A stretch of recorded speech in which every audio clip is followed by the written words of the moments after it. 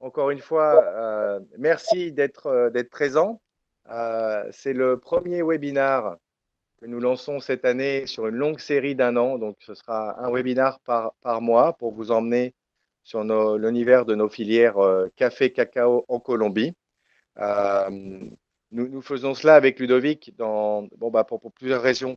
La, première, parce qu'on s'est rendu compte que, que ce soit au niveau des professionnels ou au niveau des consommateurs, il y a énormément d'idées reçues, de fausses idées aussi, euh, quelques mythes, des tabous.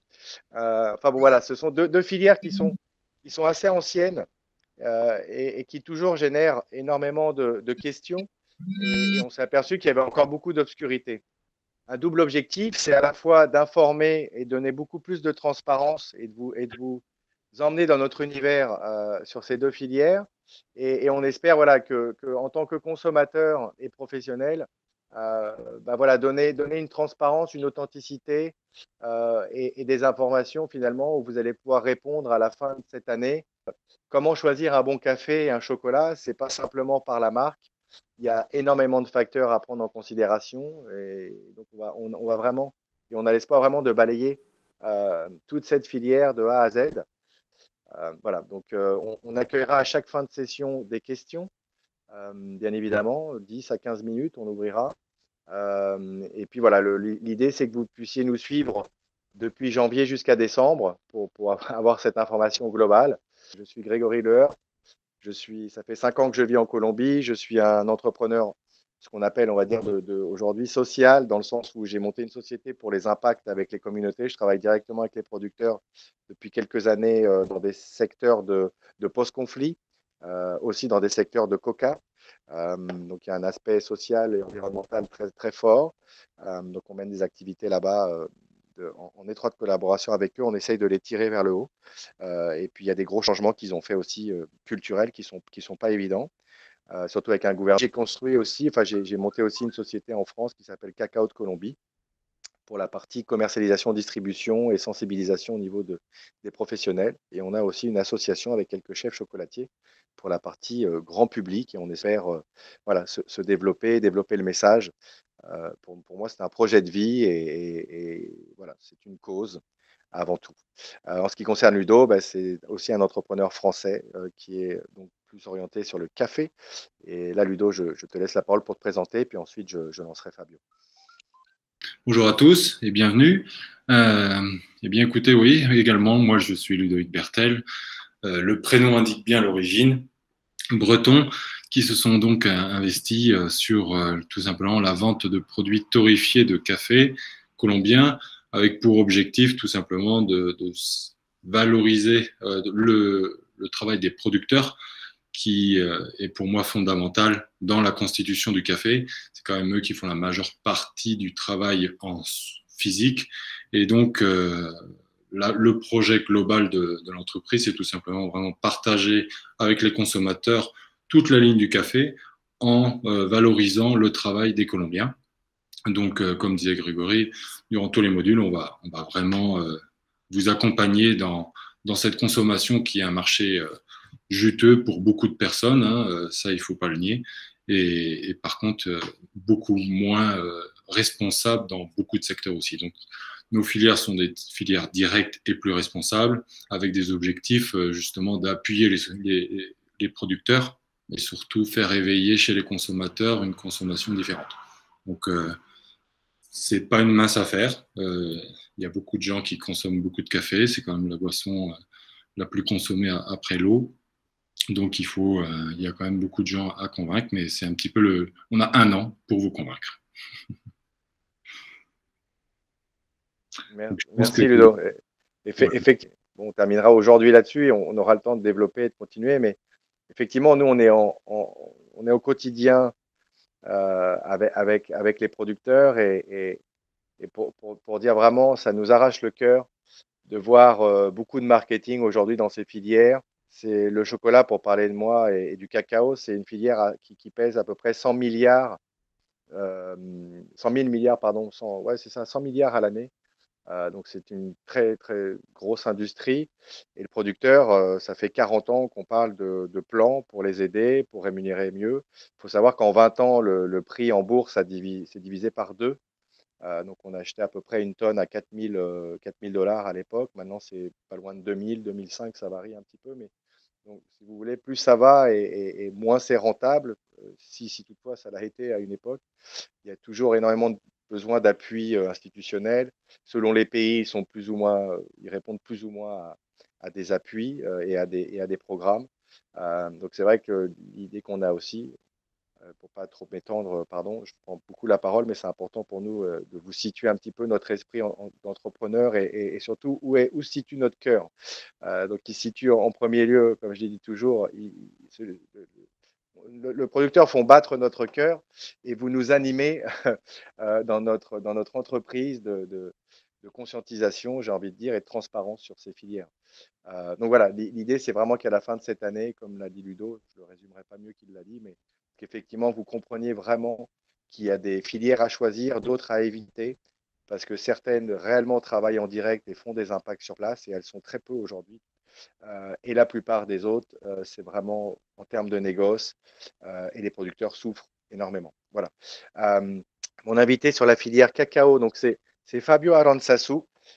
cet homme est simplement l'homme que je connais qui a le plus grand savoir en cacao, sûrement un des plus grands dans le monde. il a dédié 40 ans de sa vie en recherche, à la recherche, à positionner, à comprendre déjà le cacao, son origine, sa génétique. Il a travaillé sur des maladies, il a travaillé sur la production, euh, sur les systèmes agroforestiers. Euh, enfin voilà, c'est une encyclopédie. Euh, moi, j'ai eu la chance, vraiment, je dis la chance de, le rencontrer et il a beaucoup aimé mon, esprit et, ce que je voulais développer par rapport à la Colombie, puisque vous allez enfin le savoir, le, le berceau du cacao criollo ce n'est pas le Mexique, mais bien la Colombie et l'Équateur. Donc, il, vous en parlera. Ça aussi, c'est des grands mythes qu'on est heureux de tomber aujourd'hui parce que beaucoup se, trompent entre domestication et origine.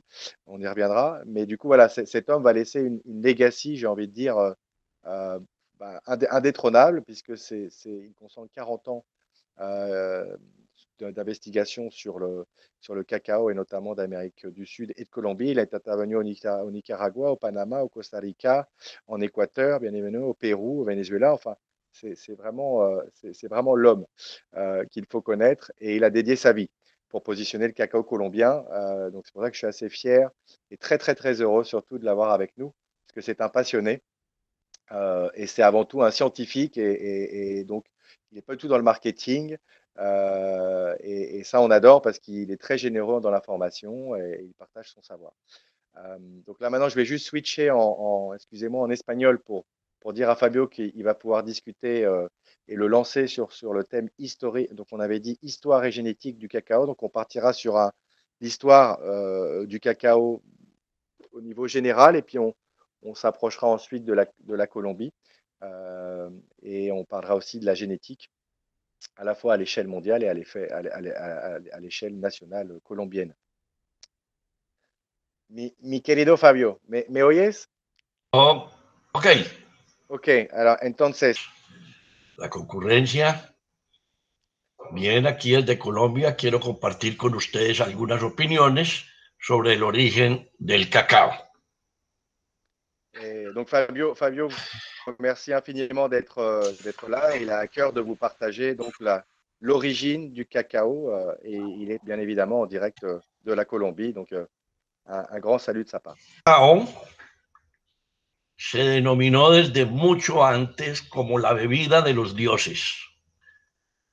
Eh, nació para el mundo chocolatero prácticamente el momento del descubrimiento de América entre 1492 y 1500 con la llegada de Colón a West Indies.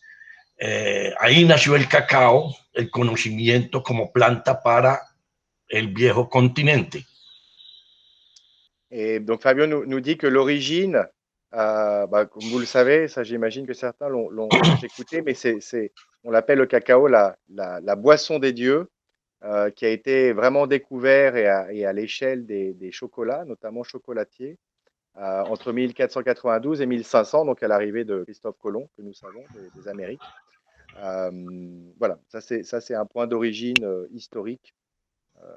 O sea que el cacao es un producto americano, específicamente de Sudamérica y Centroamérica. Eh, un investigador Montamayor utilizó eh, la tecnología del ADN y utilizando los clones en diferentes jardines clonales de Brasil y de Trinidad, encontró que el cacao tiene, se formó con 10 grupos genéticos. Siga. Et en fait, le, principal euh, aujourd'hui et le, plus actuel et le point de concordance de tous les scientifiques, donc Motomayor, que vous voyez d'ailleurs sur la, sur la diapositive. Euh, donc le cacao, il faut savoir que c'est le continent américain euh, et principalement le continent Amérique du Sud. comment ils ont réussi à retrouver les différents clusters que vous voyez à gauche au niveau des, des groupes génétiques par les techniques d'ADN. Donc, ils, ont fait des prélèvements pour, pour pouvoir avoir euh, cette identification euh, de groupe génétique. Et principalement, vous en retrouvez une dizaine ici et Fabio va, va, va développer. Ok. Eh, como pueden observar, el cacao tiene dos grupos muy grandes o macros.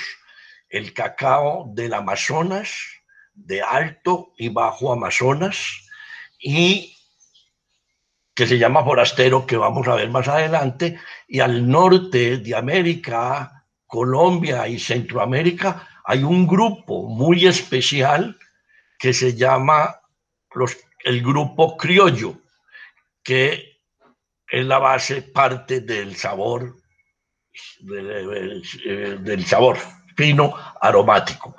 Entonces ahí tenemos la dispersión, el río Amazonas, sirvió de vehículo, de medio para que el cacao, de haber sido descubierto en, las, en los afluentes a, mil metros, entre 800 y mil metros de altura sobre el nivel del mar, en los ríos ecuatorianos, peruanos y colombianos, eh, ahí, como ven, nació el cacao para el mundo con el ADN y de ahí se dispersó el forastero. Y en el norte, los criollos que se dispersaron por las Antillas. Siga. Et donc, nous dit que euh, trois pays se partagent par rapport aux affluents de leur, euh, de leur fleuve. Euh, si vous voulez, le cacao a été. on n'a pas l'origine exacte dans le sens où c'était ce fleuve, etc., parce que ça a été transporté au cours des, des, années par, par, par, ces affluents de ces trois fleuves. Ce qu'on sait, c'est que vous avez une division de trois groupes. donc ça, c'est suite à ce que je vous expliquais, ce que Fabio nous, disait par rapport aux, groupes génétiques identifiés grâce à leurs ADN. En gros, vous avez la partie haute amazonique, la partie basse et la partie criollo. donc là où il y a beaucoup de légendes, de mythes, donc on va, enfin euh, euh, dévoiler. Euh, c'est la partie amazonique centrale, où, où, il y a un petit bout du Pérou, de l'Équateur et de la Colombie. Et c'est à travers ces affluents de ces trois pays que le cacao c'est à traversé et c'est répandu. sachant que la partie haute amazonique, c'est le forastero, un groupe génétique qui n'est pas un cacao fin et d'arôme, et qui a été, c'est celui-là qui a été importé ensuite par les Espagnols euh, en Afrique. O sea, que el cacao, su origen es colombiano, peruano y ecuatoriano. Voilà, donc il nous confirme que eh, l'origine est bien péruvienne, équatorienne et colombienne pour le cacao criollo.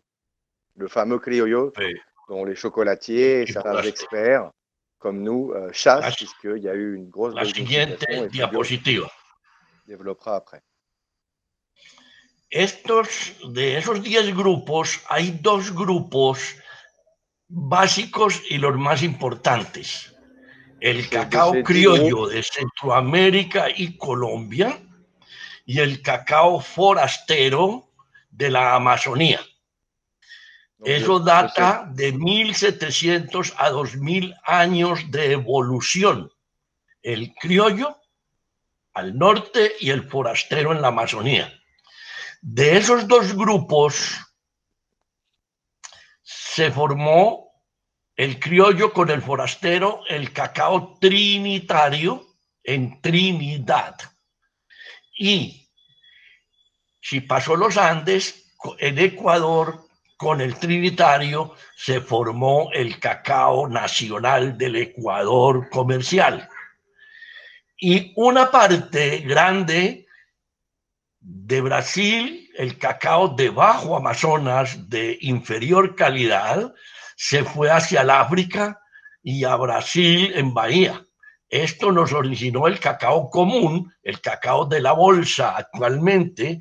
Eh, África fue sembrado con cacaos 100% forasteros del Bajo Amazonas.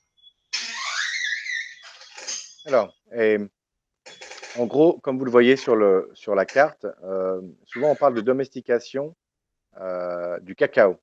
Et, en fait, la diversité génétique de ces dix groupes qu'on vous a présentés sur la, slide antérieure, sur la, diapositive antérieure, trois groupes sont, essentiels. Et c'est ça, ces trois catégories dont on parle, qui est le criollo, le trinitario et le forastero. Le criollo que vous voyez entouré euh, sur la partie plus centrale, ça c'est quand donc il est bienvenu de la partie amazonique centrale que vous aviez vu antérieurement, mais ensuite avec les, mouvements euh, et les négociants et les fleuves, il s'est transporté, euh, donc soit, terrestrement, soit de manière maritime, il s'est domestiqué, donc ça veut dire qu'il n'était plus à l'état sauvage, on a commencé des, des, cultures, donc ça, ça date à peu près d'il y a 2000 ans. Le Trinitario, c'est un croisement entre le criollo et le forastero, qui est le forastero de, de l'Amazonie, de la partie basse amazonique. Euh, et, qui euh, et, qui, et donc, c'est des croisements naturels qui se sont faits à travers le temps. Euh, ensuite, des croisements plus assistés, puisqu'on peut, on peut, on peut créer du croisement génétique. Mais, mais, mais ça s'est fait, de ce que parle Fabio, la génétique pure, ça s'est fait au, fil du temps et avec le mouvement du cacao sur, ces, trois, régions, j'ai envie de dire, sur ces trois endroits de, l'Amérique.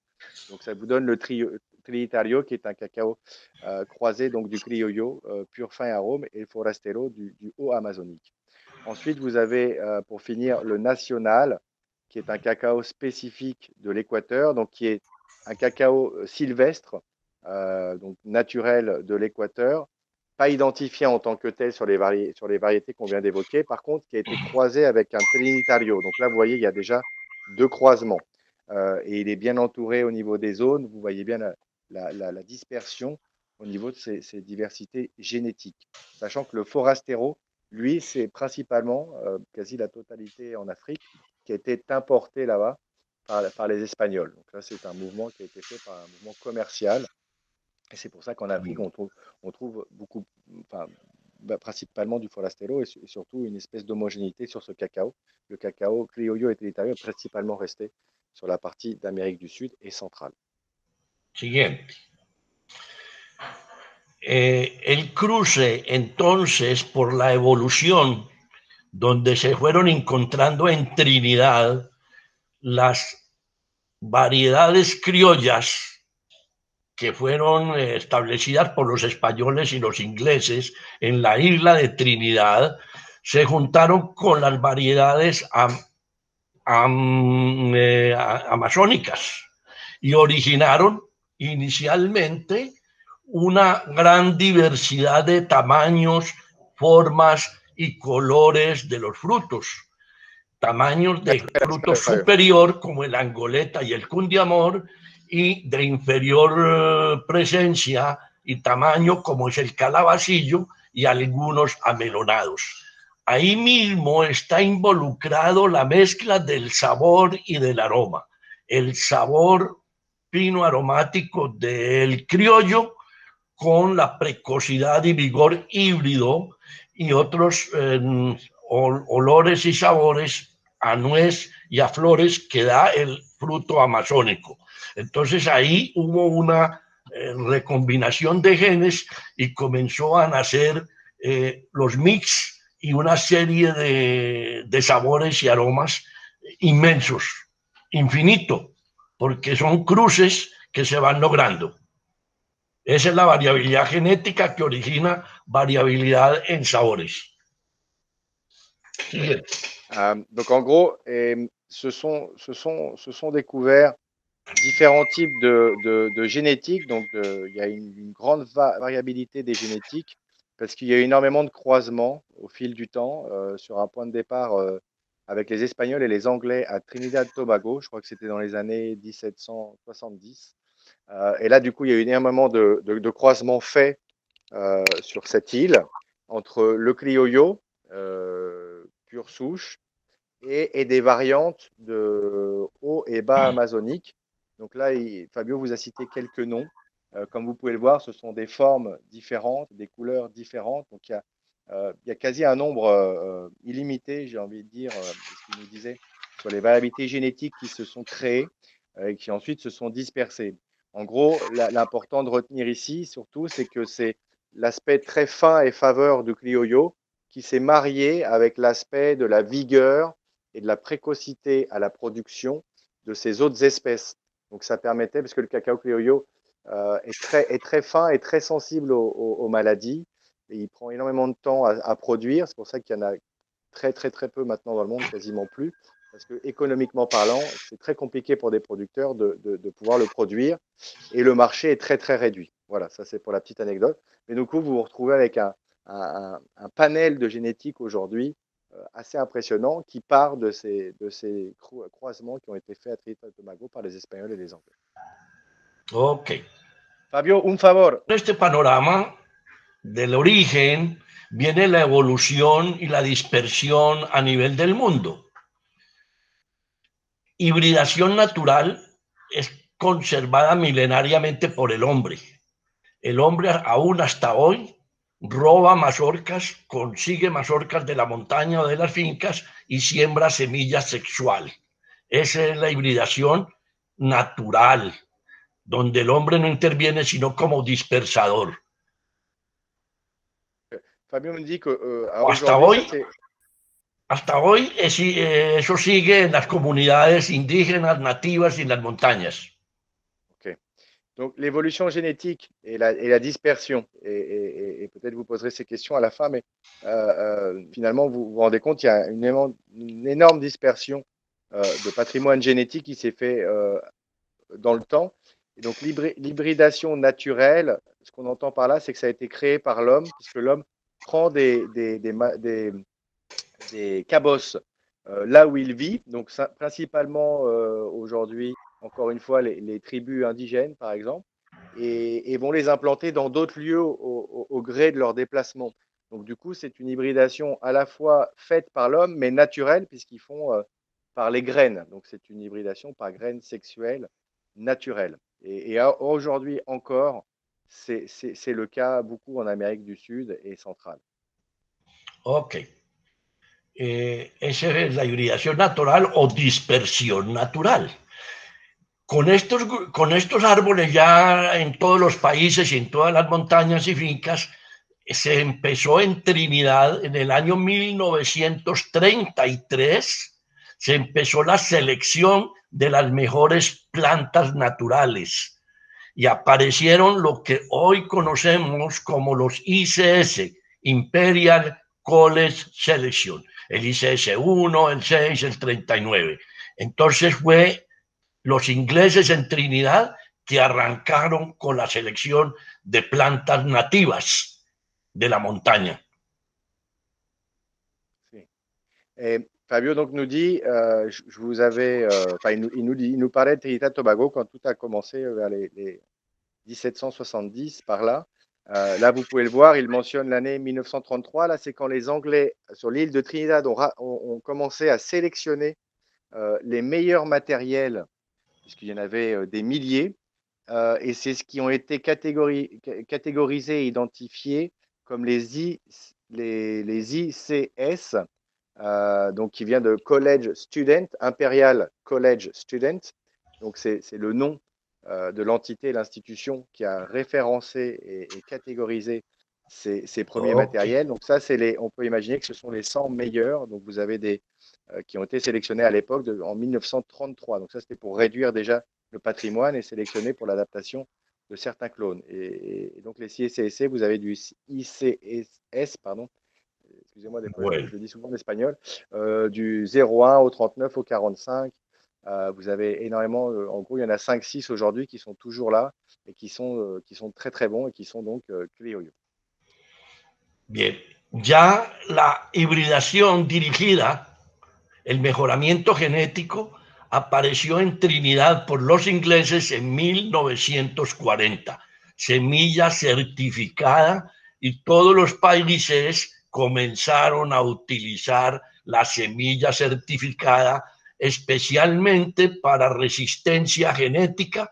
Nunca estaban buscando sabor ni aroma. Eh, todavía no se hablaba de los sabores y de los aromas. Se hablaba de sabor a cacao y pare de contar. Y en 1940 comenzó un poco la, la mejor agronomía del árbol de cacao. Donc ensuite, euh, les années 40, ils ont commencé à, pour la première fois à travailler à une amélioration de la génétique, euh, mais, mais, pas vers le plus de goût, plus de saveur.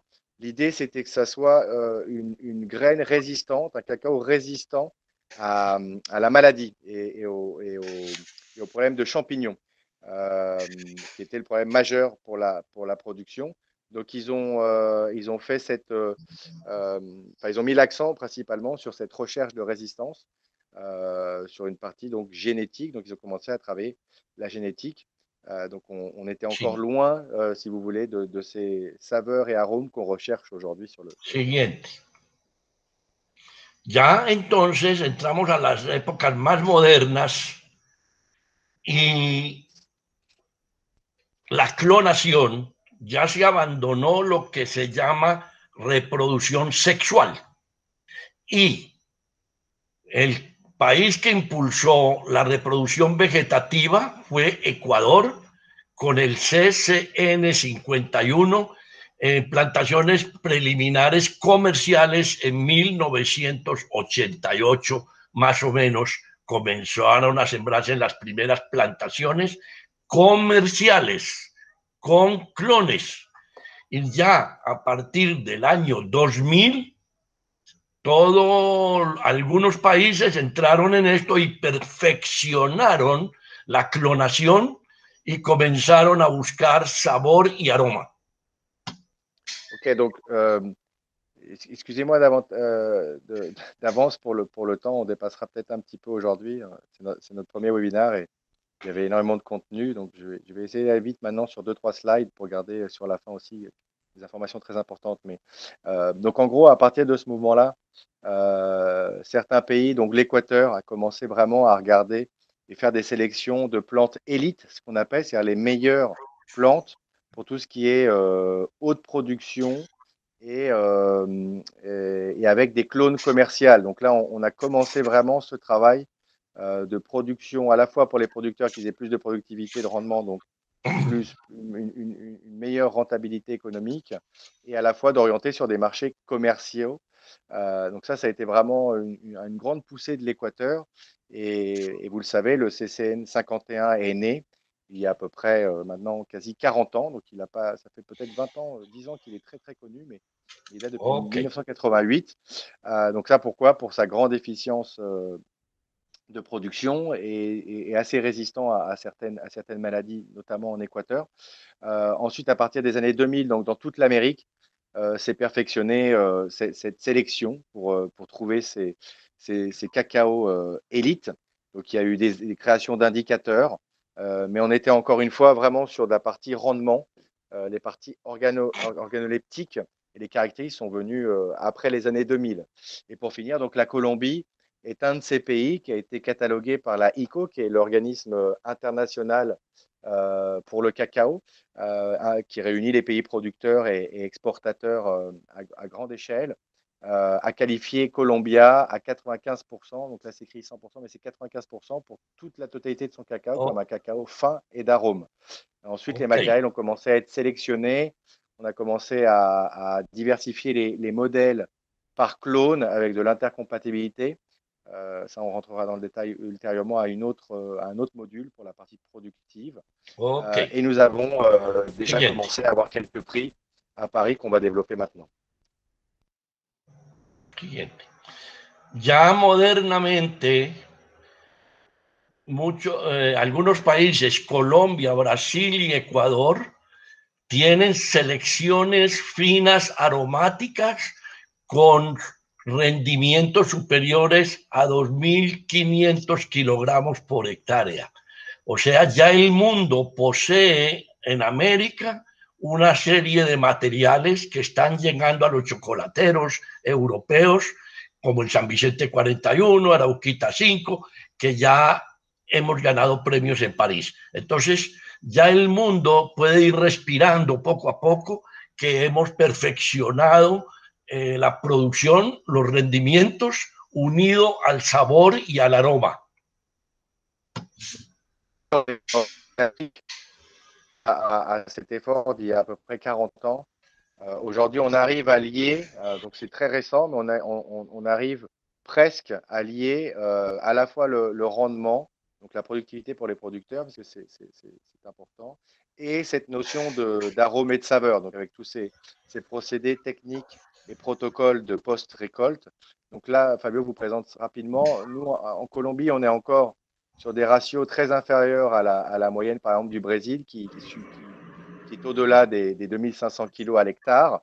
Il euh, faut savoir qu'à 1500 kg à l'hectare, pour vous donner une idée, on requiert toujours de l'assistance technique en plantation pour les producteurs. Donc, la Colombie, on est entre 500 et, et, 1 kg, donc c'est très loin. Euh, on a développé donc des clones qui ont été plusieurs reconnus au Salon de Paris. On faut savoir que la Colombie a gagné ces dix dernières années six prix avec des nouveaux clones euh, fins et d'arômes, euh, avec des origines criollo notamment certains. Euh, et voilà, vous avez des exemples du, Brésil aussi sur certains de leurs, de leurs clones identifiés fins et saveurs avec du rendement, et l'Équateur, dont le CC est mais le malheur de l'Équateur, c'est qu'il a perdu beaucoup de son, son national qui avait fait son fleuron. Voilà, donc aujourd'hui, on, on lance encore plus d'investigations sur ces nouveaux matériels euh, qui permettront à, chaque fois d'allier davantage le rendement et la, et la saveur et, la qualité. Ok, siguiente. Estamos preferenciando y buscando los materiales criollos no puros porque los puros han desaparecido. Los cacaos que Mayor ha llamado criollos modernos, que mantienen el sabor y el aroma de la, la parte criolla original. Entonces, esto es un esfuerzo que están haciendo los países centroamericanos y Colombia especialmente. Siguiente. Euh, bueno, habla. Ouais. Et donc, on avait pu le voir dans le temps, euh, j'ai envie de dire pur. On parle de, comme vous l'avez vu avec ce dernier scientifique de 2008, Motomayor, qui a référencé des cacao qu'on appelle criollo modernos, qui ont gardé des caractéristiques du criollo ancien, euh, ancestral. Euh, et, on cherche maintenant voilà, à, les débusquer parce qu'il y en a encore que très très peu dans le monde. Ils ont quasiment tous disparu avec la domestication qui s'est faite à travers le temps. donc maintenant, on parle de Criollo Modernos et c'est les nouveaux modèles dont je vous parlerai aussi qu'on a, qu'on a maintenant en Colombie avec cette origine génétique très forte du Clioyo, mais il n'y a plus euh, de Clioyo, j'ai envie de dire, pur, euh, ancestral, en production et en vente sur le marché mondial. Ok. Siguiente. Ah, este es una, un clip de, de los materiales colombianos híbridos trinitarios, que ya los conocen en Francia, muchos de los por el sabor y aroma, como el Arauquita 5 y el San Vicente 41. Esta es una muestra de las variedades con que estamos sembrando en Colombia los modelos finos aromáticos y de alto rendimiento. Donc là, vous avez une représentation rapide de quelques cacao qui ont été sélectionnés par euh, un organisme en Colombie, euh, puisqu'on parle de, graines certifiées. Euh, avant, on avait des graines non certifiées, donc d'une certaine forme sans, sans, traçabilité et avec très peu d'investigation. Donc là, vous avez un résumé des cinq euh, cacao premium qui sont aujourd'hui en Colombie. La plupart ont été reconnus à Paris. donc qui donne une rentabilité pour le producteur et un, une saveur, un, arôme et une saveur très particulière pour reproduire, qui est, euh, qui est ce que recherchent les, les chocolatiers. Ok, siguiente. Eh, algo muy importante que está resurgiendo en el mundo es que una sola fruta, mazorca, tiene en su interior, por polinización de los vecinos, los granos cambian de color cuando están mezclados forasteros con criollos o no tenemos bien buen cuidado de las siembras. Ahí vemos esta mazorca, es del San Vicente 41, como al, partirla al partirla verticalmente cuando está de cuatro meses y al pelarle, quitarle lo que se llama el mucílago, vemos diferentes tonalidades de granos. Y lo más interesante que hemos encontrado es que cada grano, al masticarlo, genera para los expertos un sabor y un aroma especial. O sea que una sola mazorca es un mis y por eso tenemos que perfeccionar las siembras por clones definidos para que la mezcolanza, la mezcla no sea muy alta, porque un mis no se puede repetir facilement. Alors, et comme vous le voyez sur l'image, vous avez une coupe dans la longueur d'une cabosse. Comme vous le voyez, euh, quasiment toutes les euh, fèves, euh, les graines, sont, de couleurs différentes.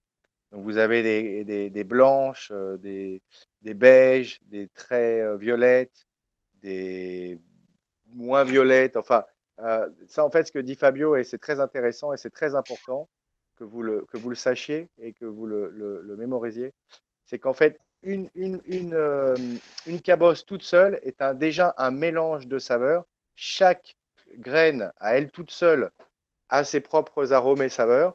Donc, ce qu'il dit, et ça c'est très important, euh, et en plus, il y a une influence de la pollinisation faite par les voisins, les arbres voisins, donc selon les, les génétiques, a des génétiques qui peuvent influencer la génétique de l'autre. C'est un peu comme des individus, il y a des individus plus forts que l'autre, donc et qui peuvent influencer soit par leur physique, soit par leur mental. Euh, bah, c'est un petit peu pareil dans une, euh, bah, vous le voyez avec les arbres d'ailleurs, hein, ça, ça, se voit, ils se parlent, ils, se, ils cohabitent, et ils s'influencent les uns les autres. Donc là, pour, pour finir, euh, il est très difficile, euh, étant donné qu'une cabosse réunit un certain nombre de mélanges de saveurs. Euh, si vous avez différentes variétés et que vous les mettez toutes ensemble, ça va être très, et que vous aimez cet arôme, ça va être très difficile de reproduire exactement ce mélange puisque chaque cabosse a déjà un mélange. Donc l'idée du futur, c'est d'aller développer des productions et des modèles avec des clones. Comme ça, on maîtrise un profil de saveurs et d'arômes. Ok, siguiente, ya vamos a terminar.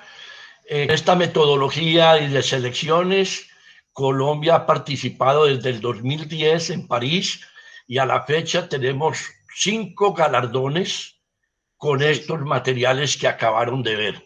O sea, hemos sido bien premiados porque hemos hecho un esfuerzo en seleccionar materiales finos, aromáticos y de alto rendimiento. Comme Fabio est très humble, il ne l'a pas dit, mais je vous le dis, c'est grâce à lui, ça c'est son travail. En fait, les, clones que vous voyez là, qui ont été sélectionnés au, terme de, de, ses investigations et de son travail sur le terrain et son amour pour le cacao, ont gagné tout cela, euh, plus un euh, qu'il a oublié, mais on a déjà eu six prix sur les dix dernières années. Donc ça prouve que, son travail a, a, son travail a, prouvé sa valeur et, et a positionné Columbia. Euh, voilà, donc c'est l'héritage que Fabio, pour l'instant, est en train de générer et va laisser à, la, Colombie. Et c'est lui qui a mis en place toute, toute cette nouvelle euh, méthodologie et approche de système agroforestier euh, en Colombie notamment et, dans d'autres pays. donc voilà, donc n'hésitez pas après par email ou par chat à, nous dire si vous voulez un peu plus d'informations, on peut donner des sources. Enfin, voilà, avec Ludovic, on se rendra disponible. Euh, mais, voilà, déjà, ça vous donne un, bel aperçu euh, de la chose. Excusez-moi encore mille, mille fois pour la longueur. Euh, bon, en même temps, on, a de la chance que Fabio passionné, bon, moi également, Ludo également, mais on a eu un, petit problème avec l'interlocuteur de, Ludo. Donc, on, va, je crois qu'il a réussi à, avoir son ami finalement invité pour, pour aller sur la séance café.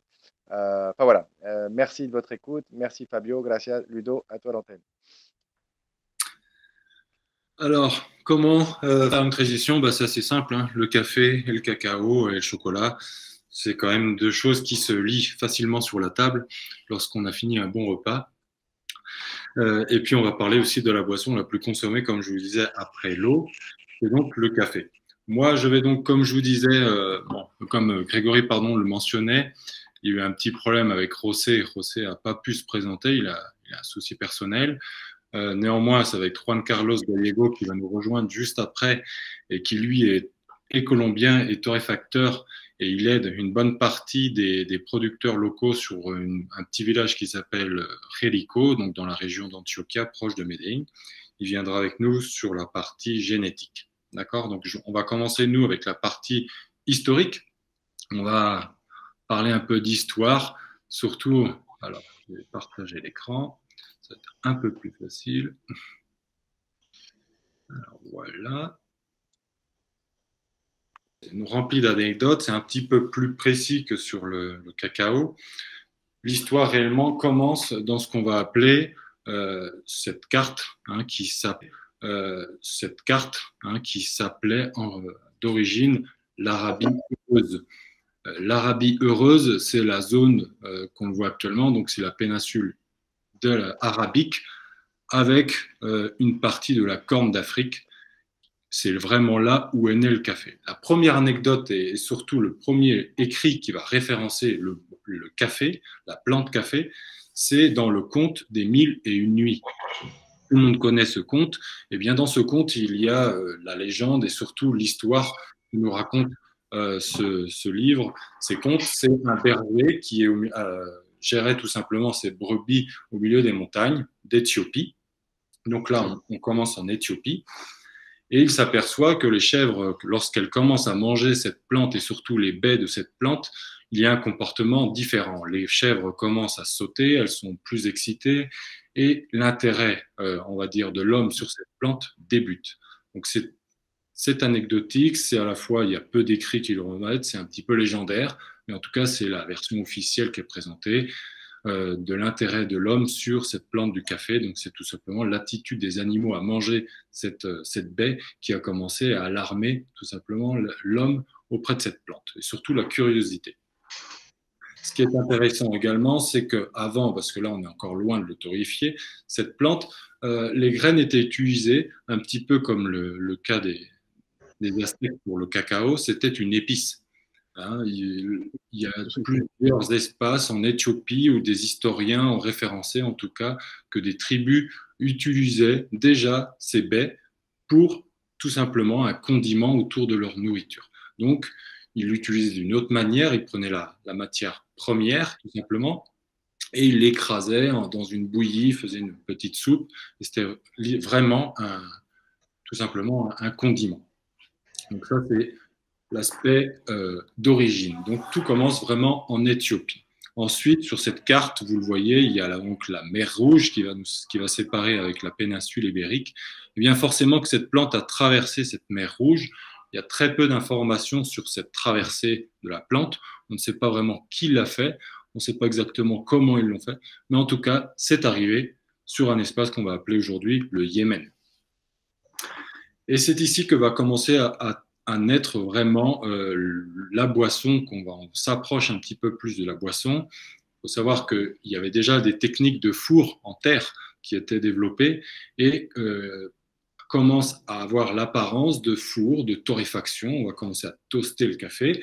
On va le mettre au, au maximum, c'est-à-dire que la plante souvent était référencée en très noir on va commencer à le mettre dans un terre qu'on va lâcher. La terre va donc être préchauffée. Une fois que la terre est chauffée, on, recouvre le tout et on, attend que les graines cuisinent. Donc on parle plus de cuisine, comme je le mentionnais, que de torréfaction. Donc ça, c'est l'origine un petit peu de la transformation de, ce café. Une fois qu'il est arrivé au, Yémen, il va y avoir un, groupe qui s'appelle la secte Sophie. Donc là, on est à peu près au niveau du, du 14, 14e siècle ce sont des islamistes qui vont commencer à diffuser le café. Et là, la diffusion va avoir un effet culturel important. Ça va être une transition qui va être intéressante pour le prochain module, parce que à travers la, boisson, il va y avoir plusieurs attitudes culturelles et modifications culturelles qui vont commencer à émerger. Donc, dans, un premier temps, la secte, euh, comme je vous le disais, la secte Sophie va, elle, travailler le café et on va commencer à avoir l'apparition du mot kawa. Monde l'a déjà peut-être déjà entendu. Il s'écrit Q-A-H-U-A. C'est le mot café en arabe. Et c'est là qu'on va commencer euh, à mettre un nom sur, sur la plante. D'accord? Le mot kawa en arabe, ça veut dire l'élan, l'impulsion. Ils ne se sont pas vraiment trompés sur la traduction. Donc ensuite, une fois que, comme je vous disais, une fois que la plante a commencé à s'intégrer sur le pays du Yémen, il va y avoir un phénomène culturel important. Ça s'est fait sur le plan social euh, et ça fonctionne encore aujourd'hui. Il va y avoir la naissance de premières maisons de café euh, qui vont s'organiser. Donc on va, ça va être des, des bars, hein, c'est ce qu'on va appeler aujourd'hui des bars, anciennement des maisons de café, qui vont réunir des gens qui vont emmener la socialisation. D'accord Il va également avoir beaucoup d'écriture de poèmes. Les gens vont commencer à jouer, continuer à jouer des échecs en buvant un café. Il va avoir également des échanges d'idées qui se fait autour du café. Donc la boisson, proprement dit, a un effet culturel complètement révolutionnaire et qui va commencer à, se diffuser en première partie euh, vraiment sur le Yémen. Ensuite, euh, là on le voit à droite, il s'agit d'un café turc. Ça, c'est les premières façons dont le café est consommé. Euh, pour ceux qui ne connaissent pas, s'il s'agit tout simplement de, on verse de l'eau chaude dans un, dans un énorme contenu avec le café et l'eau, on le sert, et puis on a, comme certains diraient, on a autant à manger qu'à boire, et on attend que le dépôt finissent au fond de la tasse et se termine. Donc le mar qui est au fond de cette tasse, et c'est pour ça que je fais allusion à ça, c'est qu'il va y avoir aussi une espèce de rituel. Le café a toujours été considéré comme une plante un petit peu de rituel et lié à la religion, aux croyances. Et le mar qui va être déposé au fond de cette tasse est, est devenu une légende. Euh, beaucoup de, de croyances vont naître autour de la lecture du mar. Il va y avoir des images, certains vont voir un cheval, d'autres des nuages, d'autres, voilà, plein de représentations qui amènent à des lectures euh, de rituels et, surtout religieuses. Donc le, café est clairement devient, euh, on va dire, une attraction et surtout un mouvement culturel fondamental qui va révolutionner une bonne partie des, continents. Euh, sur l'Europe, on va commencer, nous, à s'approcher sur une autre carte, c'est tout simplement le déplacement de certaines espèces, surtout, on va le voir pour la génétique, l'arabica, euh, qui va commencer à voyager. Donc, je vous disais, la corne d'Afrique qui est située ici, avec le Yémen, ça c'est vraiment l'origine même du café.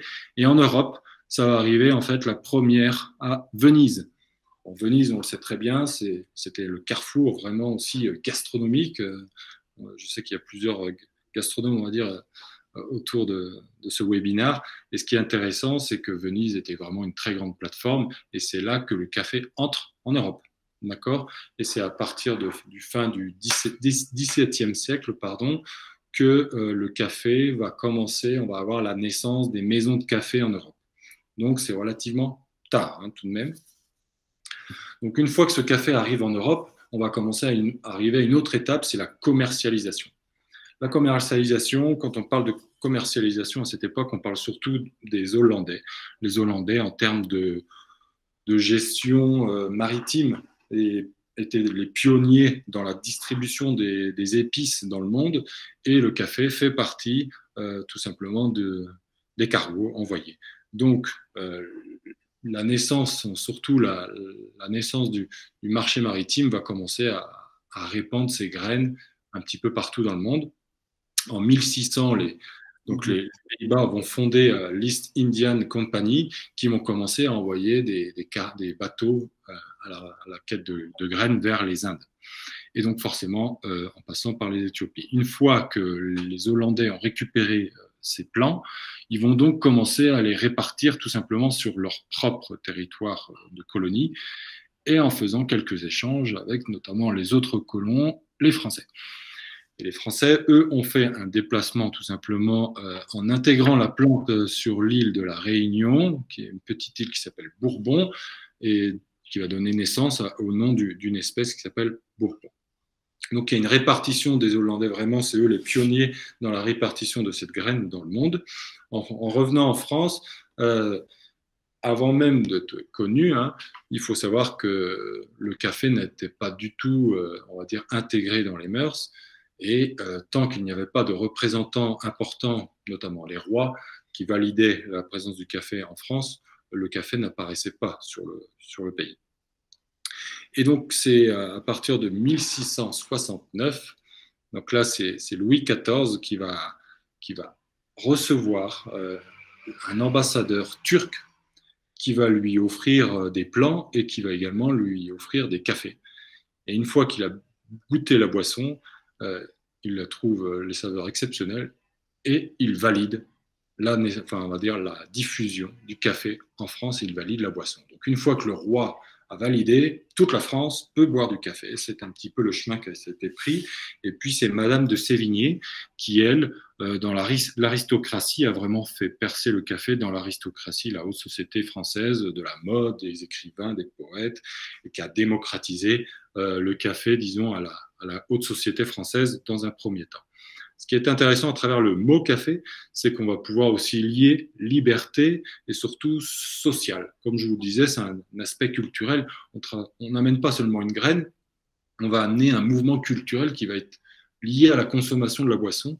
Et c'est pour ça que c'est important, je trouve, de, le signer dans son aspect, de, de le souligner dans son aspect historique, parce que le café va exprimer la liberté. Et pourquoi?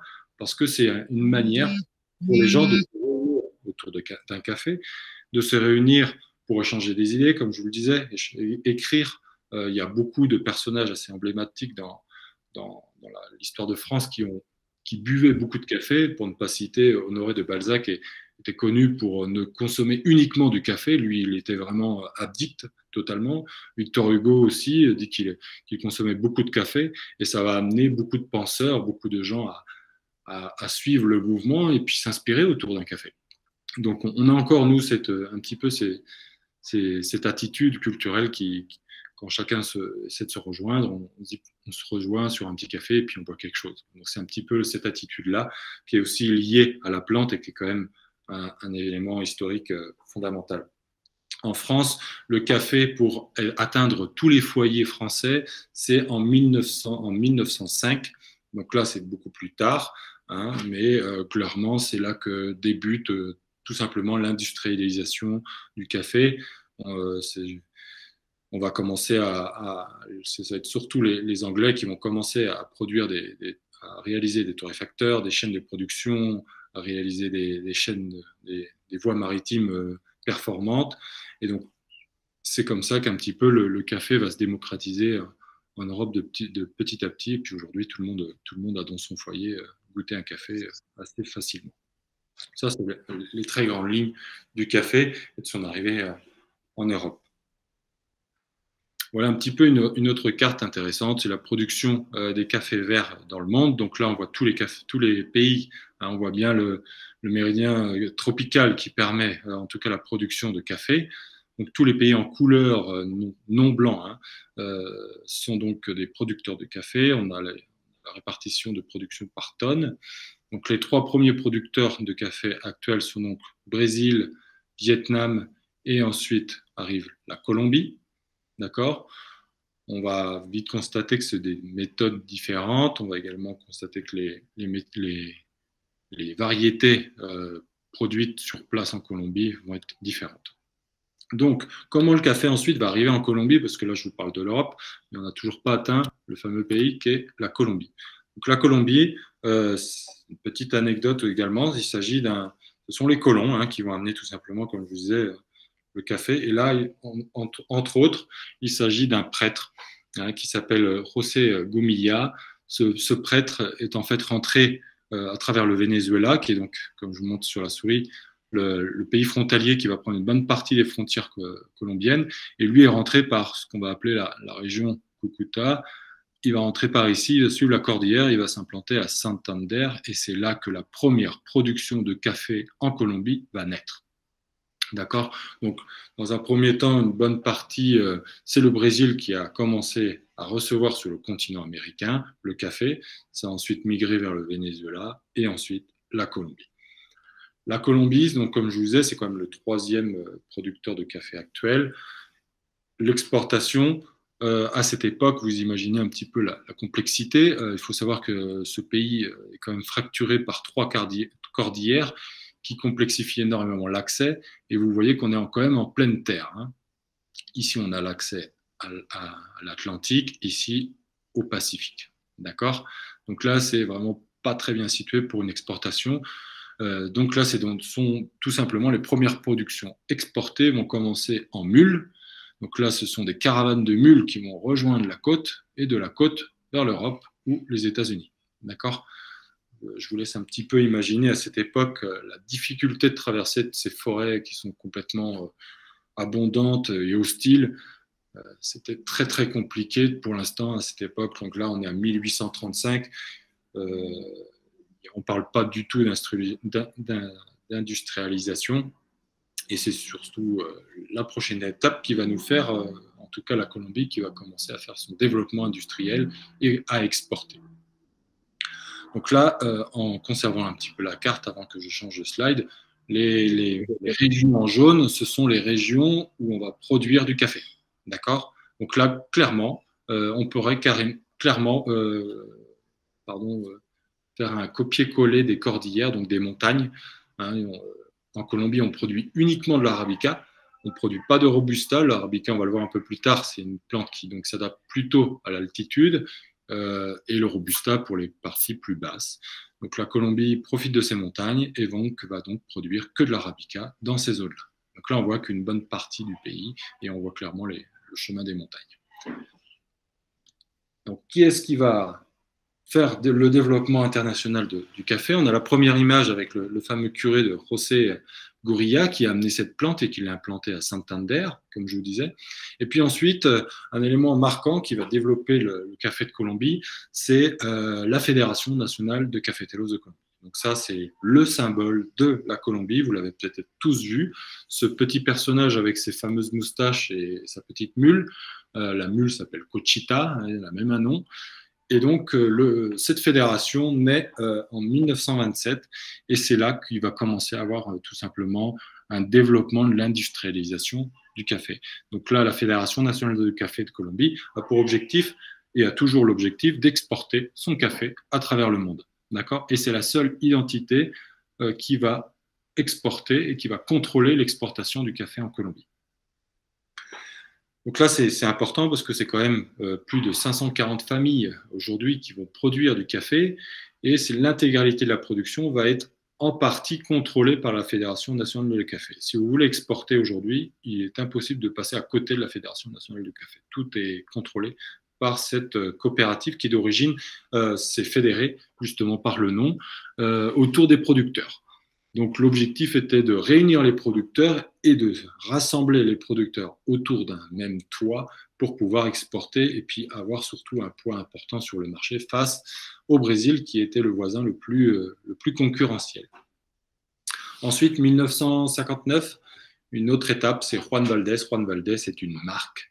On voit que c'est le même logo, c'est les mêmes, les mêmes personnes qui vont on va dire, gérer ces deux identités. Euh, c'est-à-dire que là, ce sont les familles pionnières qui, qui, ont créé une marque et qui va devenir un peu le Starbucks colombien. Je ne sais pas si vous l'avez vu, il commence à atterrir un petit peu à Paris, il me semble. Il y a un gros combat avec Starbucks hein, qui s'est fait aussi. C'est deux identités qui vont essayer d'internationaliser tout simplement le café. On ne parle pas de qualité, on parle surtout d'image. Hein. C'est le café de Colombie. Donc la Fédération nationale de café et Juan Valdez vont vraiment tout faire pour euh, commercialiser le café de Colombie. Et là, pas de n'importe quelle manière, parce que il va y avoir un contrôle et un contrôle quoi? Un contrôle qualité. L'exportation se réalise, mais tout est contrôlé, et c'est-à-dire qu'il va y avoir énormément de qualité. Et si vous demandez à n'importe qui en comparant d'autres euh, pays, euh, la Colombie est souvent plus chère, la, Colombie est souvent aussi euh, plus qualitative. je ne suis pas objectif sur le sujet parce que moi je propose du café colombien, mais clairement, euh, il y a un très grand, très grand contrôle de qualité auprès de la Fédération nationale de café qui ne laisse pas, on va dire, dissiper cette image de qualité. je vous présente Juan Carlos, comme je vous disais, lui il est torréfacteur dans un petit village qui s'appelle Jerico. C'est un petit paradis. Hein, je vous recommande vraiment de rejoindre cet endroit. Lui, il a la particularité de travailler avec 32 agriculteurs locaux. Avec quel objectif? Tout simplement euh, qu'ils puissent, en tout cas ses producteurs, euh, avoir l'opportunité pour les producteurs de vendre leurs produits finis. Donc avec le sachet et le produit toasté, donc torréfié. J'ai fait une traduction espagnole mauvaise, mais c'est torréfié. Donc euh, ben, c'est une, énorme, pour moi, une énorme action qui est faite parce que là, on valorise totalement le producteur. On va essayer de l'accompagner. Lui, il essaie de les accompagner en, vraiment présentant bah, des, des, profils de tasses, en disant voilà un petit peu comment le café sort. Est-ce que tu peux modifier un petit peu ta production pour avoir une meilleure qualité? Donc, il va avoir un œil bienveillant sur toute la production. Et c'est ce qui est intéressant. Euh, il va nous parler un petit peu de la génétique, euh, un petit peu comment elle, s'est développée. C'est un thème assez complexe. Euh, ça va être dur de concurrencer Fabio, qui est l'encyclopédie. Mais en tout cas, la passion y est on va pas répondre à la sonnette, c'est peut-être la sonnette de présentation pour uh, Carlos. Entonces, Juan Carlos, uh, yo voy a compartir la, la, pantalla y nos comentas un poco lo que ves de, uh, de la genética, del árbol de genética. Donc, il va nous commenter un petit peu et je traduirai à ti. Buenas tardes. Como decía Ludovic, mi nombre es Juan Carlos. Eh, básicamente lo que vamos a explicar es la parte de la genética del café. Nosotros, eh, para nosotros el café fue clasificado dentro de las rubiáceas. Eh, no sé, Ludo, cómo vamos a hacer para la traducción. Yo, te, yo me encargo. Donc, il se présente, il vous, il vous salue bien, il vous remercie pour, pour l'espace et on va nous aborder la, la, la génétique. ¿Voy parando o voy hablando derecho y o cómo hacemos? Por, pausa un poquito para que alcance. Perfecto. Perfecto. Entonces, para nosotros en Colombia fue clasificado como una rubiácea, rubiácea el café y básicamente más adelante lo dividimos en tres variedades, que es la libérica, la arábiga y la robusta. Donc, tout simplement, ici en Colombie, il y a le premier nom qui est le roubiacé. Ça, c'est le nom scientifique. Il faut savoir qu'il y a quand même plus de, 100, variétés de café. Et on va nous se concentrer sur trois familles, l'arabica, qui est ici, le robusta et le liberica. L'arabica et le robusta sont les deux commercialisés actuellement sur les marchés internationaux. Nosotros, eh, la libérica es de porte alto, la arábiga es de porte medio o, bajo y la robusta es de porte alto también. Entonces, en Colombia, nosotros a través del tiempo, una vez empezó a llegar café a nuestro país, llegó Borbón, luego llegó Típica y empezaron a haber mezclas. Donc tout simplement, il disait que la, taille, on va le voir un peu plus tard, va être différée en fonction également, la plante va avoir des propriétés complètement différentes entre le Robusta et l'Arabica. Et globalement, en Colombie, on va commencer à travailler à travers quoi? Le Bourbon et le Typica. Et ensuite, on va avoir des mutations qui vont commencer à apparaître, si vous me suivez, la, la, souris et puis le code couleur. Mais globalement, Typica, donc qui est une descendance directe, euh, naturelle de l'Arabica, et le Bourbon.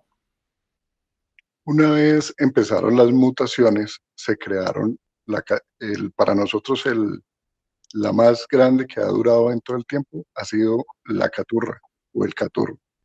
Ese fue el árbol que más estuvo en todas las fincas de Colombia. Nos dimos a conocer con ese sabor al mundo. Donc va y avoir euh, énormément de variétés qui vont commencer et de mutations qui vont se faire sur le territoire colombien.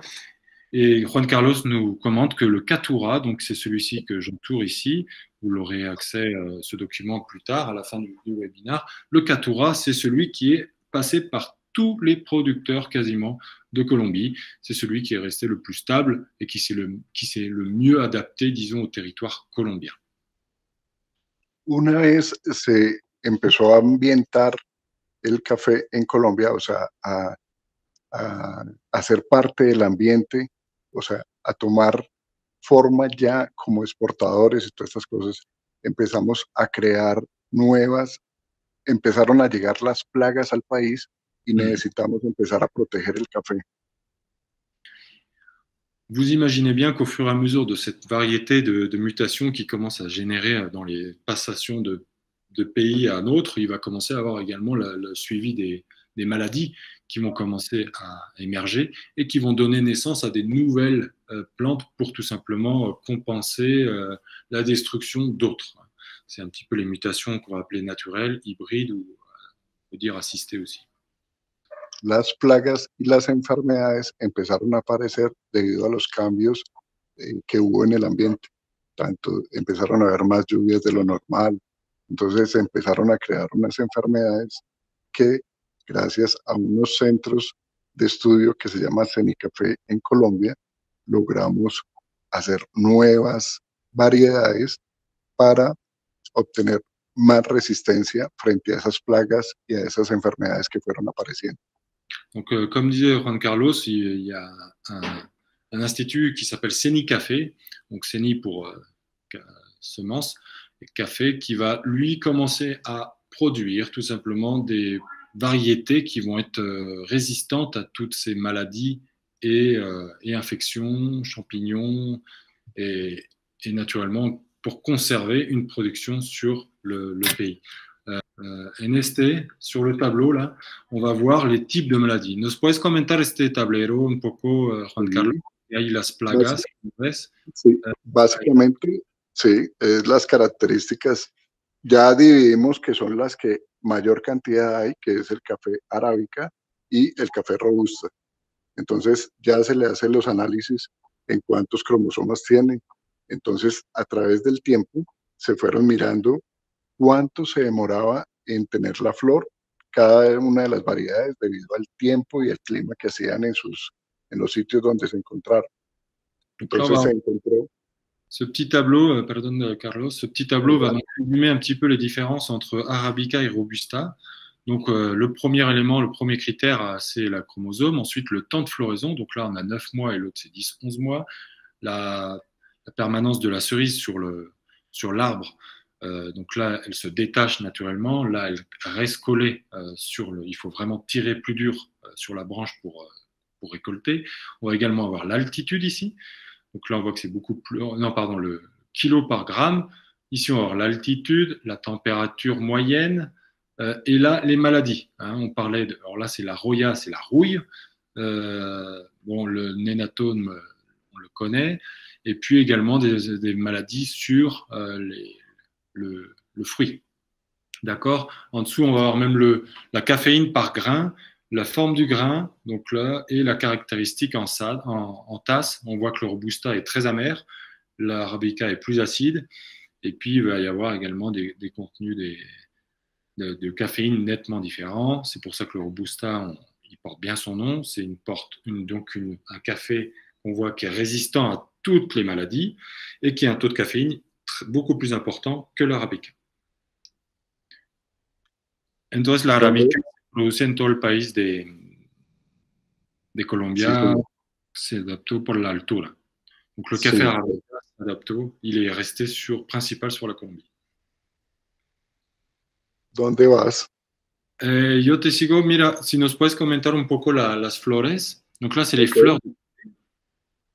Cada una de estas flores hace que haga diferente el grano. Estas, como pudiste ver en la parte de atrás, eh, la durabilidad o el tiempo que duran en, en- en el árbol, cada una de estas flores tiene una particularidad que por lo menos en el caso de la robusta, se aferra más al, al árbol o a la rama y no permite que el grano cuando madure caiga. Mhm. Donc là, on a différentes variétés. On voit bien que en fonction, on a des- vraiment des, des fleurs différentes dans la forme qui vont forcément amener des fruits différents. Et comme euh, je le mentionnais, le robusta va lui avoir un fruit qui va rester collé sur la branche. Il va pas tomber naturellement. Il y a pas de lorsqu'il arrive à maturité, euh, il reste il reste collé le robusta. Donc toutes ces Ah variétés arabica, elles sont plus gérées en Colombie. hay una particularidad en, la, en el fruto como tal. En la robusta, Mira. el, sí, en la robusta, el grano madura de la parte de atrás hacia el ombligo. Y en el arábiga madura del ombligo hacia la parte de atrás. O sea que por eso en la robusta no se cae el grano, mientras que en el arábigo se cae. La raison principale que le café ne tombe pas en comparaison Robusta ou Arabica, c'est que chaque grain, là on voit, on va appeler ça un nombril. Hein, c'est un point noir qui est situé au centre. Euh, eh bien, l'Arabica, lui, euh, le Robusta, lui, va commencer à grandir à partir de ce nombril, alors que l'Arabica, lui, va faire tout l'inverse. Donc c'est pour ça que tout simplement le Robusta, lui, est vraiment collé à la branche, c'est qu'il va se fixer vraiment sur la branche avant de grandir. Et là, sur la partie de gauche, euh, Juan Carlos nos va euh, il va nous expliquer un petit peu les différences qu'on voit sur ces cafés, qui sont certaines, certaines variétés qu'on a vues. On voit clairement une grande différence de couleur et de grosseur. Nos puede comentar, Juan Carlos, un poco la, la, la imagen de izquierda, uh, por qué hay tanta diferencia de, uh, de cafés uh, de colores o de gustos? Ok, básicamente eh, estos cafés, por lo menos el Geisha, el Típica, el Pacamara, Catoy Rojo, Borbón, todos tienen algo en particular, pero debido a la región y al tipo genético que tiene cada uno de ellos, hace que dé un sabor particular. Cada uno, si te das cuenta, tiene tamaños diferentes, formas diferentes, debido a su parte genética como tal. Donc à la maduración à la cual se debe coger o recolectar. Donc là, il, il nous montre tout ça, enfin, il, il, décrivait un petit peu les différentes euh, variétés et euh, on voit clairement les différentes couleurs. Et la maturité, elle va amener, en tout cas, euh, le point de maturité va être différent. Là, on voit que le Typica est quand même beaucoup plus noirci au point de maturité. Le Pacara, il, a une, il reste encore un, un, peu plus rouge, vin. Là, on est vraiment sur du ton rouge vin et l'autre bourbon jaune. Donc tout ça va amener, bien entendu, comme le cacao, des variétés complètement différentes, des profils de tasse complètement différents et des techniques de production différentes parce que chaque plante va forcément euh, arriver à une maturité plus ou moins longue, va être plus ou moins, euh, on va dire, euh, atteint par les, par les maladies, par une rentabilité plus faible. Donc euh, voilà, tous ces, tous ces facteurs euh, un petit peu qui vont, qui vont différer. Euh, aquí, ¿cuáles son las, más en Colombia? Je lui demande un petit peu quelles sont les familles euh, de ces variétés les plus utilisées en Colombie. Sí, para nosotros por lo menos el caturra es muy familiar y lo que se ha ido haciendo a través del tiempo son mezclas y al igual híbridos de la mezcla de cada una de las variedades que han sido resistentes en nuestro país. Ça a été une des, des espèces les plus euh, adaptées. Pourquoi? Parce qu'elle a été le plus résistant à toutes ces maladies et à cette vague. Creo en, en los años 70, ¿cierto? Tuve un... Sí, sí. Dans les années 70, vraiment, ça, ça a marqué un petit peu beaucoup de producteurs à, à, arrêter un petit peu. Il y a plusieurs facteurs. Il y a la maladie, puis le marché qui, qui commence à devenir de plus en plus concurrentiel.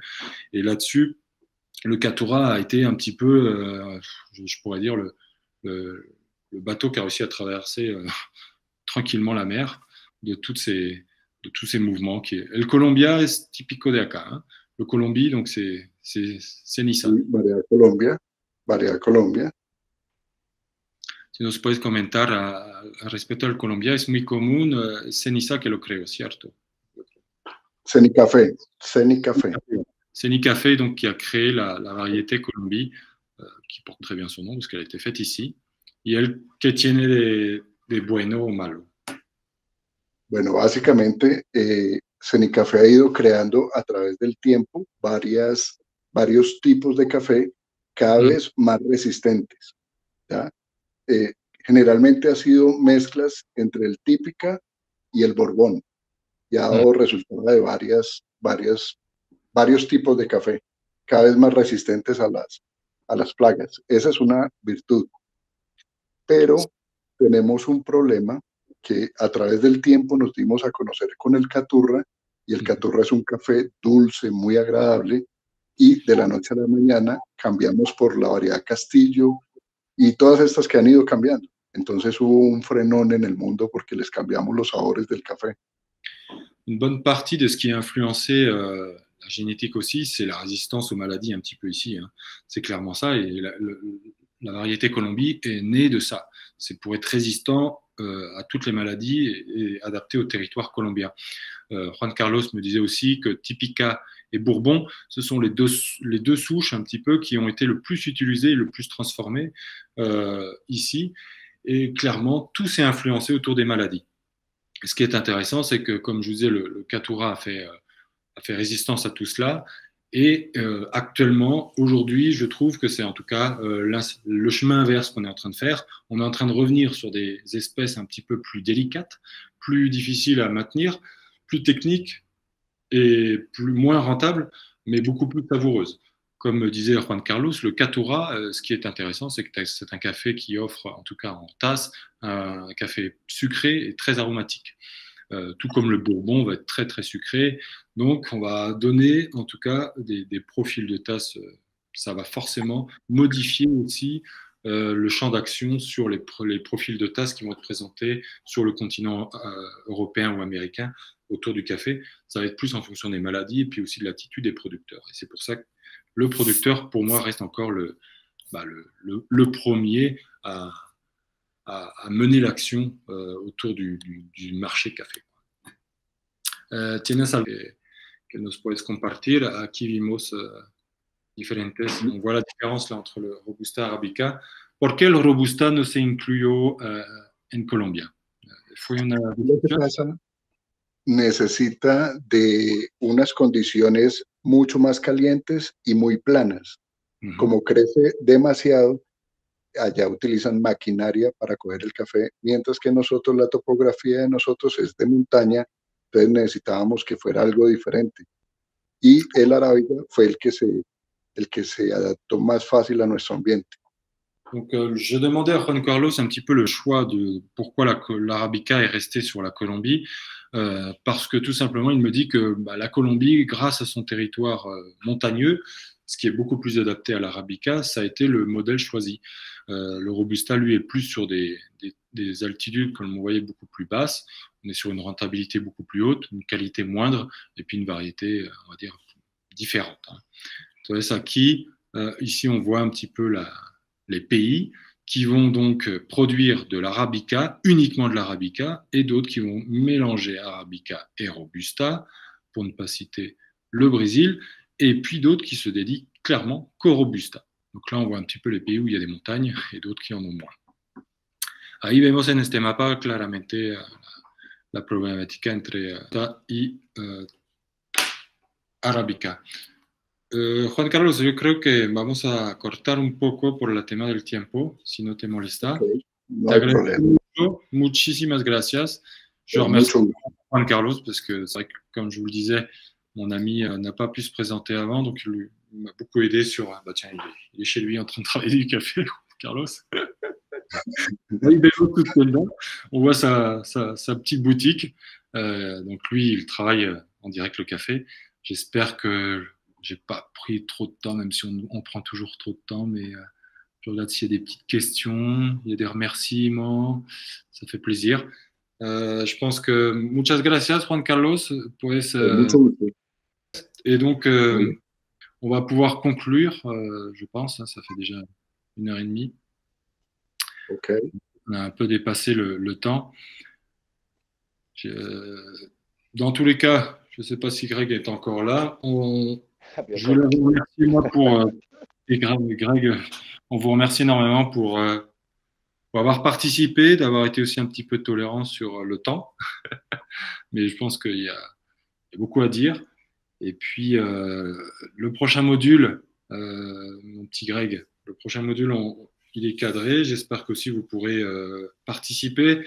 L'idée de ces modules-là, c'est aussi d'avoir on va dire, un accompagnement logique dans la progression de ce que le café devient avant d'arriver dans votre tasse.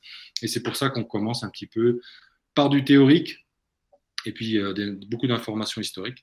Mais l'objectif, c'est d'après d'évoluer, de changer un peu les dynamiques pour euh, tout simplement continuer à partager cette passion qu'on a, que ce soit du café ou, du cacao. Oui, comme, comme disait Ludovic, donc bah, merci, merci à tous d'avoir été avec nous jusqu'au bout pour la, pour la grande majorité. On est un petit peu désolé de cette gestion du temps. C'est notre première session, donc bon, on, est, on est tous passionnés. Donc effectivement, on s'est laissé un petit peu aller, surtout moi au départ. Je m'en excuse. par contre, on avait promis d'ouvrir 5 ou 10 minutes pour des questions. Donc avant de vous envoyer euh, euh, retourner à vos activités du soir, euh, est-ce que, certains ont des questions? Et puis après, on vous présentera très, très, très, très rapidement les, les, prochains modules, notamment le module 2 et 3. Et 3, 4, 5, on sera, on sera en, live sur des plantations. Donc, ça va, être, ça va vraiment être la, plongée dans nos univers. Ça va être très, très sympa. Euh, comme l'a dit euh, Ludo, on commence avec un petit peu de théorique et, et, du contexte général. Et puis, on va aller de plus en plus dans le travail de filière jusqu'à arriver sur les marchés, la logistique, la commercialisation. Voilà, donc on vous encourage en tout cas à nous suivre toute cette année, une fois par mois. Je pense que vous ne le regretterez pas pour les, pour les plus fans en tous les cas. Euh, est-ce, que, est que vous avez des questions Pour manifester euh, vos questions, vous pouvez appuyer, je crois, sur la petite main que vous avez sur vos écrans, euh, ou alors la mettre dans le, dans le chat. Et à ce moment-là, on peut prendre quelques questions du côté café ou du côté chocolat. Je regarde les commentaires.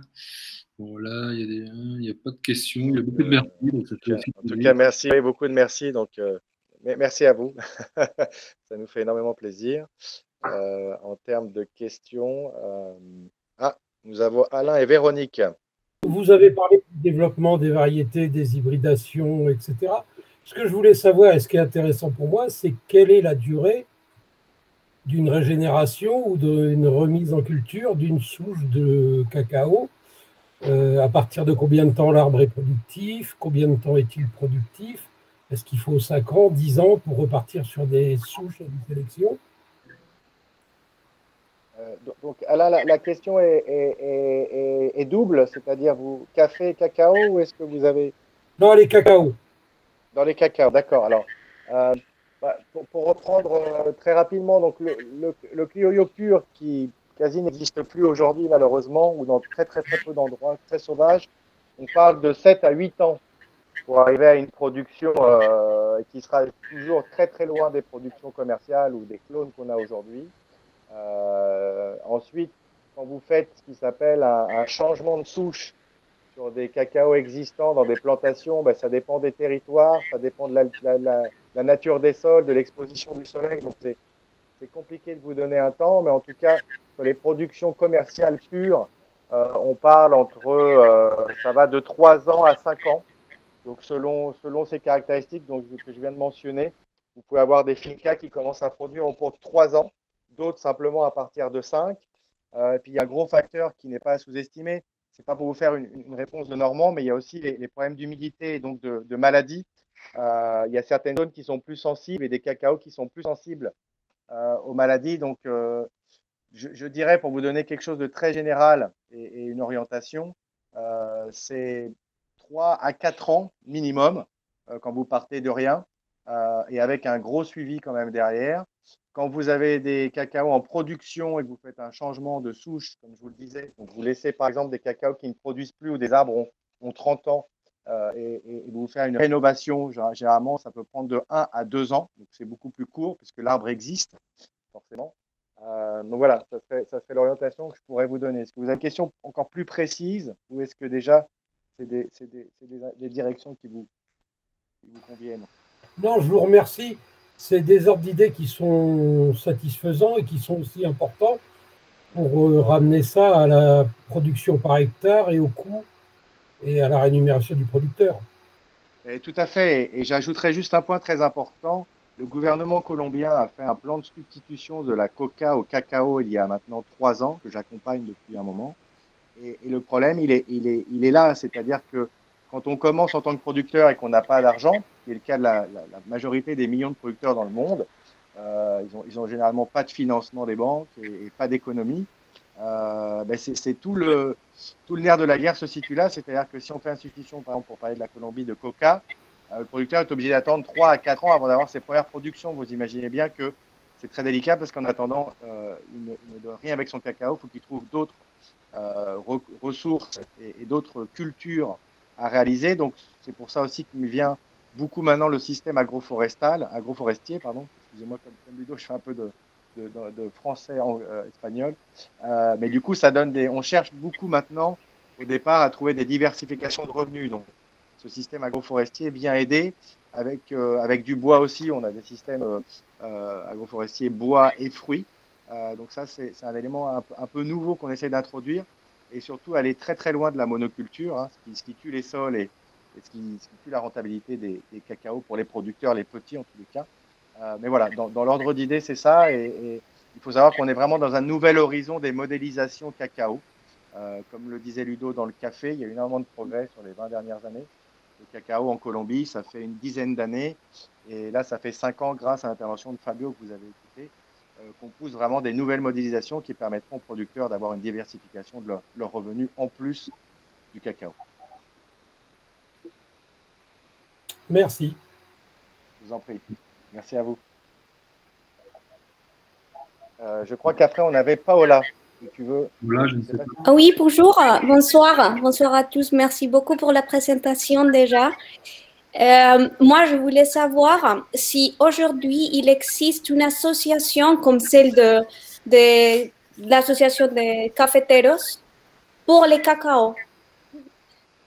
Alors, en, Colombie, il y a la, ce qu'on appelle la Fede, la Fede, Cacao, ah. qui est en, gros la, la, petite sœur de Fede Café.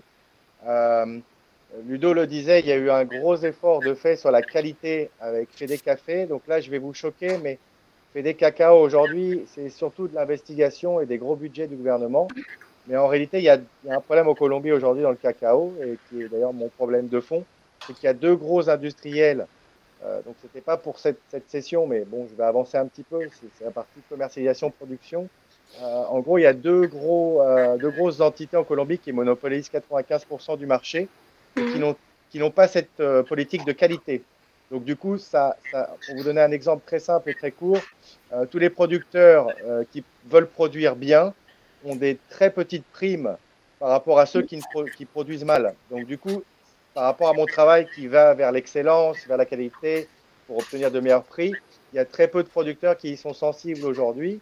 Ça vient, mais très doucement, parce qu'en face, vous avez des voisins qui en fait font pas grand-chose et qui se retrouvent quasiment avec les mêmes, les mêmes, euh, les mêmes revenus. Donc, euh, donc voilà, l'état du marché aujourd'hui en Colombie, c'est celui-ci. Donc voilà, vous avez la FED cacao, mhm. mais euh, les techniciens ne peuvent pas accéder à toutes les fincas. Il y a très peu de techniciens pour le nombre de fincas de plantation dans le pays. Donc, finalement, les producteurs, si vous les écoutez, et je les connais bien, se plaignent du manque d'intervention de techniciens parce qu'ils les voient très rarement. Donc ils sont, ils sont assez, assez lésés à ce niveau-là et souvent ils sont ils sont face à eux-mêmes avec très peu d'accompagnement et de conseils. D'accord. Et du coup, comment on peut se rapprocher en ces producteurs pour pas tomber dans des, associations qui ne respectent pas les petits producteurs, les petites.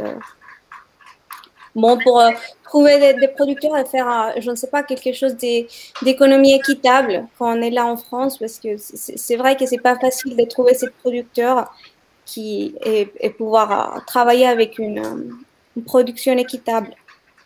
En fait, c'est tout l'objet de notre, de notre série webinar pendant l'année. Euh, on va vous emmener dans, dans, ces, dans ces distorsions entre le marché et la production, entre le gouvernement et les entreprises privées. On, va parler de tout ça au fur et à mesure euh, à, travers les modules. Mais en gros, voilà, vous mettez le point sur un, un, un fait qui est de, depuis des décennies et qui continue c'est que les producteurs sont livrés à eux-mêmes euh, et on leur demande beaucoup de choses sans leur donner beaucoup de moyens. Euh, donc c'est très difficile. Il faut savoir, dernier exemple, c'est qu'en Colombie, par exemple, les banques n'avaient aucune idée des cycles de production. Vous imaginez le ridicule, c'est comme si je vous disais, euh, on va faire un crédit de, deux ans pour construire un immeuble, et, ou de trois, mais que vous, preniez des taux dès la première année, sachant qu'il n'y a aucun revenu la première année. Donc vous aviez une, complète déconnexion aussi dans les financements par rapport au cycle de production des, plantations. Donc là, ça commence à changer un petit peu. Euh, on commence à, moins demander des, les, on va dire les mensualités sont échelonnées et, retardées, mais au départ, elles étaient demandées dès le premier mois d'activité, alors qu'il n'y avait pas d'activité. Donc, vous voyez, il y a énormément de choses à améliorer, à la fois de la manière financière, environnementale et, sociale.